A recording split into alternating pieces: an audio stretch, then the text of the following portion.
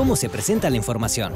Las computadoras parecen ser capaces de muchas cosas. Encontrar información que buscas, comunicarte con otras personas, entretenerte, hacer cálculos y trámites. Pero todas estas acciones se sintetizan en el procesamiento de datos. Procesar los datos a través de un software es la función principal de una computadora. Los software están diseñados y creados para que los usuarios interactúen con la computadora y puedan resolver problemas. Esta conexión usuario-computadora se realiza a través de la interfaz. Mientras más amigable sea esta interfaz, mejor se aprovechan los recursos.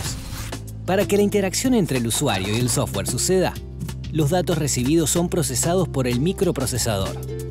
El microprocesador utiliza la memoria para guardar esos datos de manera temporal u otros dispositivos de almacenamiento para conservarlos de manera permanente.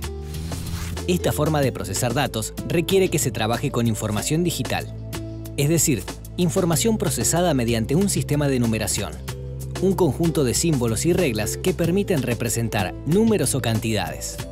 La información digital está compuesta por señales digitales que solo pueden tener dos estados, ceros y unos.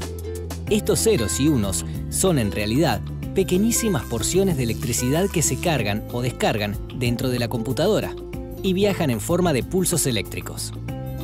Estos estados de ceros y unos se conocen como sistema binario y el microprocesador de la computadora cuenta con transistores capaces de marcar estos estados.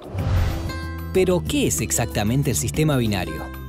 es justamente el sistema de numeración que utilizan los circuitos digitales en el que todo se representa con dos cifras, ceros y unos y sus infinitas combinaciones. Los números binarios que conforman este sistema se representan con un bit. El término bit es una palabra derivada del inglés binary digit o dígito binario. Es el elemento más pequeño con el cual una computadora puede operar.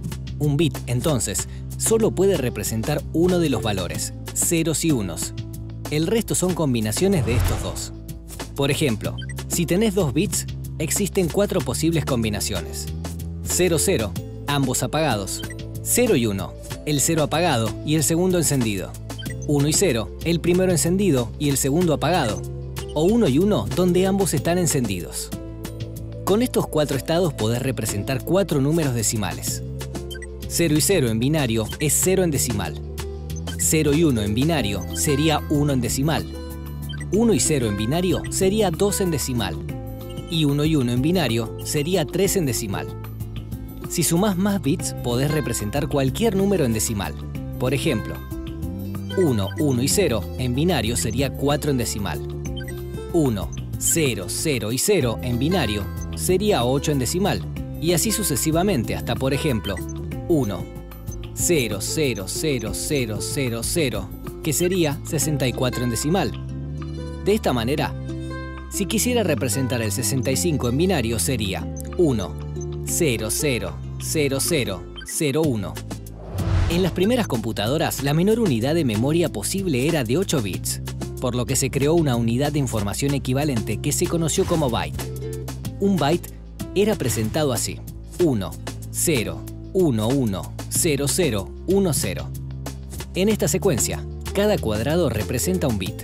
Entre ceros y unos, la cantidad de combinaciones posibles en un byte es de 256 estados diferentes. ¿Cómo procesa la información una computadora? Lo primero que debe hacer es convertir los datos en información. Estos datos son ingresados a través de un dispositivo, como por ejemplo un teclado, o leídos desde un archivo. La computadora procesa, a través del microprocesador, esa información por medio de un conjunto de instrucciones que ejecuta al recibir una orden. A su vez, las órdenes son dadas por los programadores usando distintos lenguajes de programación. Esto determina cómo guardar los datos ingresados y finalmente qué hacer con ellos. Por ejemplo, imprimir, escribir, escanear, calcular, dibujar, etc. Ahora, ya sabes cómo se representa y cómo se procesa la información dentro de tu computadora.